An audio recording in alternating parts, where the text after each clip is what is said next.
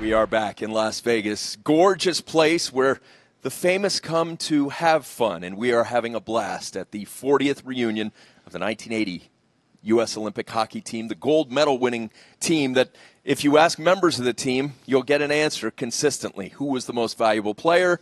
The guy sitting with us right now, Jim Craig, the netminder. 36 saves on 39 shots against the Soviet Union. A lot of Americans remember that vividly. What do you remember best about that game? Um, it was it was a great challenge for us, but you know, obviously, when you're a goalie, you, you try to make sure your team stays in games, and um, the strategy behind that game for me was a lot different. You know, I tried to figure out, you know, I, I always say playing one period against the Russians is like playing a whole game against someone else, and so I would redress after every period, and then I really try to focus on, you know what part of the games are the most important? And it was always the first five minutes of the period and the last five. And so all of a sudden, when you start setting goals and you uh, really pay attention to them, it becomes important. And, and so it was really a, a great opportunity for us, and we uh, executed. As just kind of a side note, Jim, we were chatting before we started today, and you were saying recently, Dale Arnold, yourself, you did a deep dive on the analytics, which didn't exist back then in hockey. What yeah. did they tell you from that game? Well, Dale told me I didn't do it. He said that they basically said uh, that you know my play was the reason why they won, which is I, am not saying that. That's what the analytics said. So uh, you know, basically we won because we have a great team and everybody played their game, and um, uh, that's why we won. All right. So I have to ask one more, Tone. Who was your MVP? Because we have asked a number of the players, and they've all said it to, to a man. You. But for you, who was the MVP of that team without picking yourself? Well, you know, Herb was an incredible strategist, right. you know, and what he was able to do with Robbie to make sure that he fired our team up and the strategy that he used on Robbie, he couldn't have done with anybody else, but maybe a couple other guys in the team. And, you know, we lose our first game against Sweden and we're done. And so, um, you know, Herb and Craig Patrick, they don't get the credit for what our team did, players are supposed to do those things. But when you go back and you analyze and you look at how the Russian coach pulled his goalie, you know, um, I I didn't play very well against West Germany at the at the start of the game after Mike hit me in warm-ups, and um, he could have pulled me, but he didn't. Uh, Herb Brooks pulls me to uh, put an extra attacker on, Baker scores the you know the biggest goal. So when you look at our team's win, you you think of the preparation our coaches did to get us there. Uh, I like to tell people in, uh, that Herb drove change. The old way didn't work, and he figured out a way that did. But you know, you have Billy Baker; it's a huge goal. Robbie McClanahan's play, Mark Johnson's goal, the seconds left. Um, so, so many players. You know, Kenny Morrow. Everybody did such a great job. Jim was so marvelous, and yet I've heard you say that what your hockey team did paled in comparison to what Eric Heiden did. Right. How in the world can you say that, even to those of us who can't get over what Heiden did, winning the sprint all the way to the 10,000, five gold medals, unprecedented? How? Well, you know, Eric Heiden represents what every great athlete should be, and it's that's a humble, hardworking guy. And once he accomplished all these things, he reinvented himself. So personally, for me, Eric Heiden is a you know, er, a, a superhuman guy. And I, I wanted to pay tribute to Eric, and we did it in social media because people forget because what our team accomplished. We were such an underdog.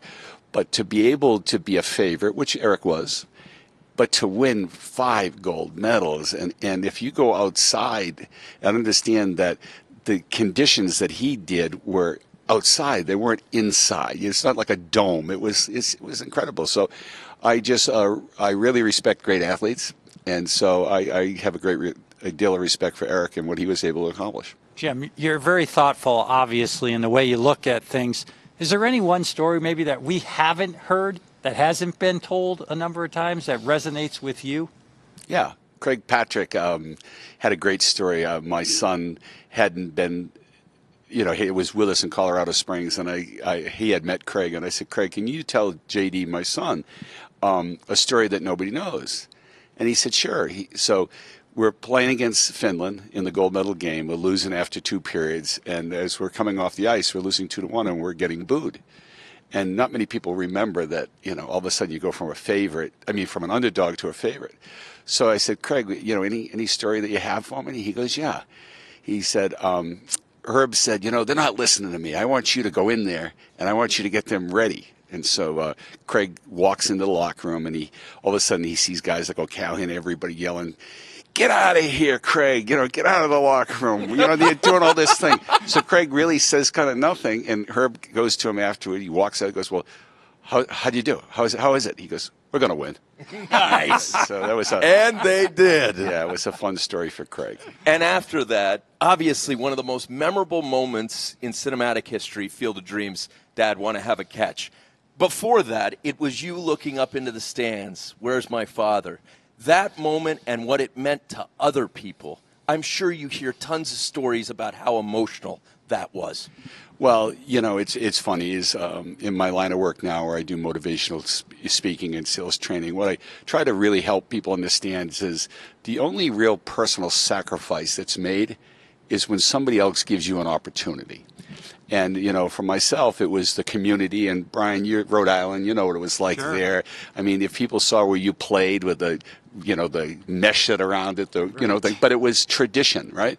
And and so here uh, I have a community, I have family, I have coaches, everybody who's gave me an opportunity to be in this position, but nobody more than my mother and my father. And so I think out of respect, it was the right thing to do. It was something I'm proud of, but how it was resonated with so many people is, uh, you know, when I saw my dad, I always gave him a hug and a kiss. Didn't matter who was in front, and I, I don't think people felt that comfortable.